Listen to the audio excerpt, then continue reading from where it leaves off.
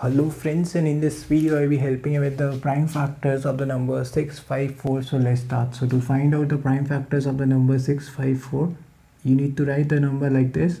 All right? And before solving this any further you must have an idea about what prime numbers are.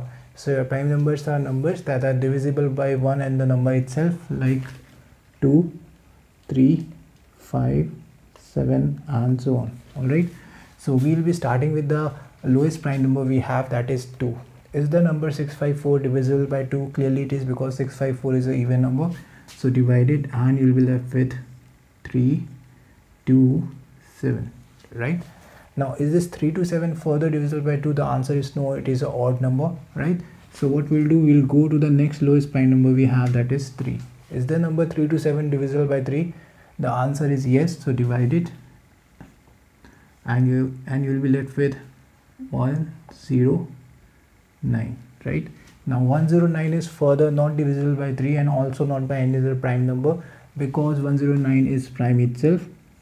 So to divide this 109 you need 109 on the left hand side and when you'll do so you'll be left with 1 and once you're left with 1 the work is done and whatever you have on the left hand side will be the prime factors of the number 654 that is 2 cross 3 cross 109 now if you want to check whether it is right or not you can multiply it and if on multiplying you get the number back again.